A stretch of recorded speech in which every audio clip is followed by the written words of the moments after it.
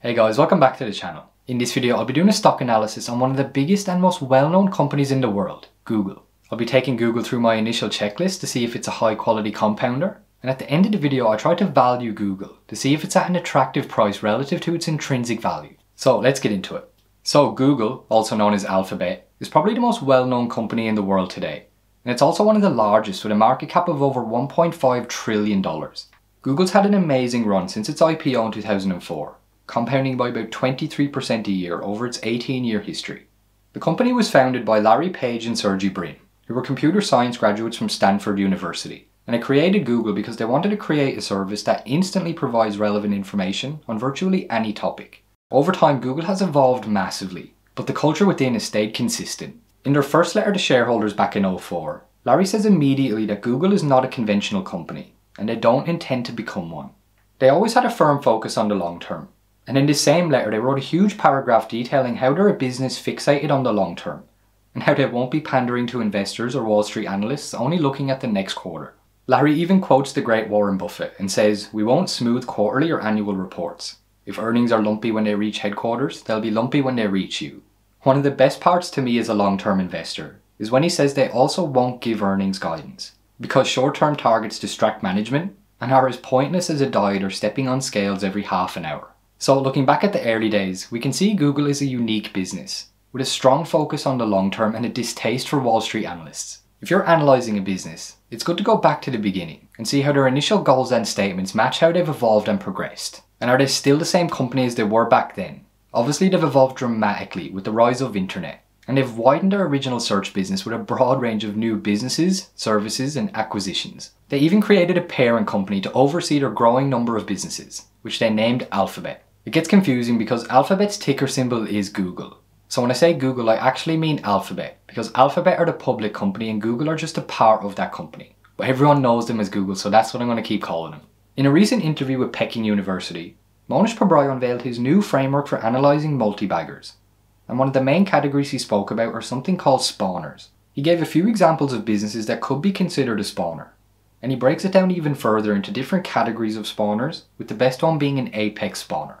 It's a great lecture, and if you're an active investor, I highly recommend checking it out. But the one I want to talk about today, uh, which is uh, part of the renaissance this year, is the spawners. And the spawners are companies that, that continuously spawn related and unrelated businesses. Very few companies have the DNA to be great spawners. And uh, we'll, we'll, we'll drill down a little bit on the different kinds of spawners and uh, basically, these are companies that have a deep conviction of, and really it's part of the DNA to keep adding and incubating new businesses that have the potential to be massive growth engines. They expect many of these things to fail and they take failure in their stride. So, Google was one of the businesses that Mohnish identified as an apex spawner, a business that creates and acquires new businesses to enhance the underlying business. With Google, or acquired YouTube, Waymo, Google Cloud, Fitbit, and Android. Most of Google's bets have paid off and have become important sources of revenue and earnings, especially YouTube. In their early letters, they talk extensively about spawning and how they'll consistently venture far outside their current business for projects if they see opportunities.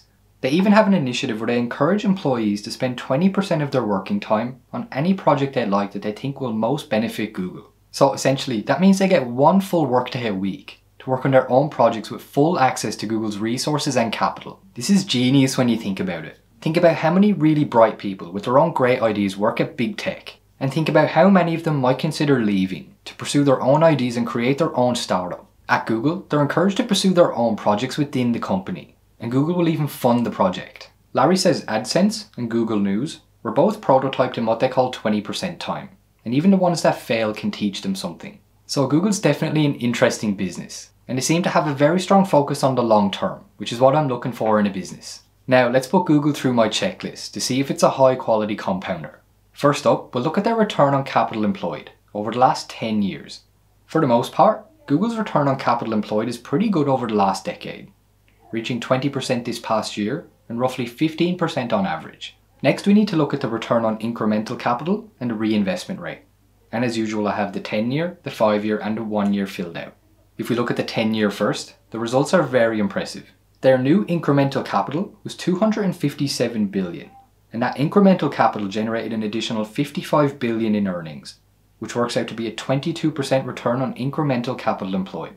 To get the reinvestment rate, we need our 10 year cumulative free cash flow, which I got by adding up the last 10 years of free cash flow on QuickFS. This came to 267 billion, and if we compare that to the incremental capital, we get our reinvestment rate, which is 98%, which is exactly what you want to see from a business achieving 20% returns on capital. And finally, to get the intrinsic value compounding rate, we just multiply the reinvestment rate by the return on incremental capital employed, which gives us a compounding rate of 21% a year, which over a 10 year period is brilliant. Now, if we look at the 5 year, it's pretty similar 25% return on incremental capital, an 86% reinvestment rate, which gives us a 22% value compounding rate. So strong results again over the medium term. Finally, we'll look at the one year to see how they go on the short term now that the cash is really starting to pile up. Their return on incremental capital is a massive 67%. This is mainly because the juggernaut that is Google is well and truly in motion, and past bets are now starting to pump out free cash flow. This means any incremental capital invested back in the business is likely going to generate large returns on capital because they currently don't need that much additional capital to maintain their current growth. Based on what they've mentioned in letters, I assume most of their incremental capital is going towards new projects that we might not see results in for a few years. Next, if we look at the reinvestment rate, we can see it's gone down quite a bit to around 50%. This isn't that surprising. Because they've grown so massive and produced so much free cash flow each year, they can't possibly invest it all back into the business. After all, with their core business model, which is advertising, they can only reinvest a finite amount of incremental capital to grow. Unfortunately, they can't just use all that cash to expand their search business, or YouTube, or their advertising business. If they could reinvest 100% of their earnings back into the business and earn a 67% return on capital, they probably would. It's still a remarkable business, but it has its limitations when they become as big as Google has. If they weren't spawning new businesses or funding employee projects, they'd probably have a reinvestment rate much lower than they do now because of that limitation. With that said, it's not a bad place for a business to be having a 50% reinvestment rate and a 67% return on capital employed, their intrinsic value still compounded by around 36% year on year. Not to mention they still have 50% of their earnings left over, which management can use to create value for shareholders in other ways, like share buybacks or dividends. In Google's 10K, management said they don't pay dividends, and their primary use of capital is to invest for the long term. And over the last few years, they've opted to use excess capital to repurchase shares, spending around $50 billion in buybacks in 2021 alone. So overall, Google's a great business. And over the last 10 plus years, they've definitely been a high quality compounder. And any investors who held the business for the last decade would have been greatly rewarded. So the question going forward is, can they keep compounding for the next 10 or 20 years?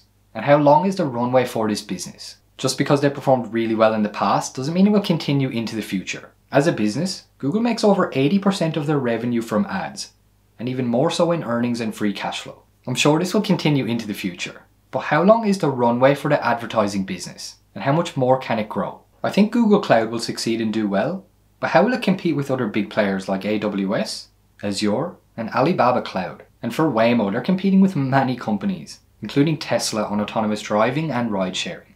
Before I keep going, this entire video is just my subjective assessment of Google, based on my understanding of the business and my circle of competence. The numbers in the spreadsheets are facts, but my interpretation of them is not. I could be completely wrong about the future of Google, and I probably am. But based on my circle of competence and my understanding of the business, for me there's too much uncertainty. And it's a business where I'm not completely confident they have a long runway to grow. It's definitely a quality business, and it's definitely been a compounder for the last decade, but I'm just not entirely sure that it will continue to compound for the next 10 or 20 years. Again, I want to stress that I'm not an expert on Google and I'm probably wrong. Google's definitely a cool company, and it'll be super interesting to follow them to see what they do next with their massive resources. But I have to separate my interest in the company and what I look for in an investment. I'm also not 100% sure about the management team either. If you're interested, I'll leave a good article in the description below about the downfall of Larry and Sergey. But I won't waste your time talking about the drama involving management in this video, otherwise we'll be here all day. So all in all, to use the baseball term that Buffett uses, it's not the pitch I want to swing at because it's not in my sweet spot. If the valuation went to some crazy levels, maybe I'd reconsider, like if it was trading for 40 or 50 cents on the dollar. But at normal bull market levels, it's a pass from me right now. Just to be sure it wasn't massively undervalued, I did a quick valuation of Google using a discounted cash flow. If you're new here, every spreadsheet I use will be linked below in the description box if you want to use them yourself. So because I don't have the best understanding of Google and each of its business segments, I used pretty conservative estimates for the growth rates.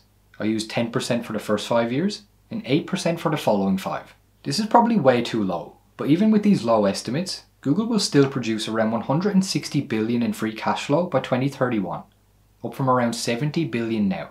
As always, I used a discount rate of 10%, and for the terminal multiple, I used a multiple of 15 because of their low growth but decent return on capital. This gives us an intrinsic value estimate for the entire business of around 1.5 trillion, and with 658 million shares outstanding, it gives us a fair value of around $2,400 a share. That's my basic and probably incorrect valuation estimate for Google. And if I wanted a dollar for 50 cent or less, I'd have to pay less than $1,200 a share for Google. So that's my initial analysis for Google. And based on the results, it's currently not a business on my radar to invest in. It's definitely a cool company which I'll follow closely, and I love most of their products, especially YouTube. I've personally learned so much from YouTube, and it's also given me a platform to share my thoughts and ideas with you guys. So it's not my lack of love for the business, it's just not in my sweet spot as an investment. Please don't take this as a buy or sell recommendation on the stock. This analysis was primarily about the company itself and its fundamentals, my valuation was based off very conservative estimates and is probably way off. If there's any other businesses you want me to analyse, or if you have any questions, then let me know in the comments below. If you enjoyed the video and you want to support the channel, I'd really appreciate if you hit that like button. And if you want to see more videos like this one or join our community, then hit that subscribe button. And if you're still bored, I'll put another video up in the corner that I think you'll like. And as always, this video is not financial advice, and I am not a financial advisor. So please always do your own research before making any investment decisions. So that's it for today. Thank you so much for watching, and I'll see you guys in the next one.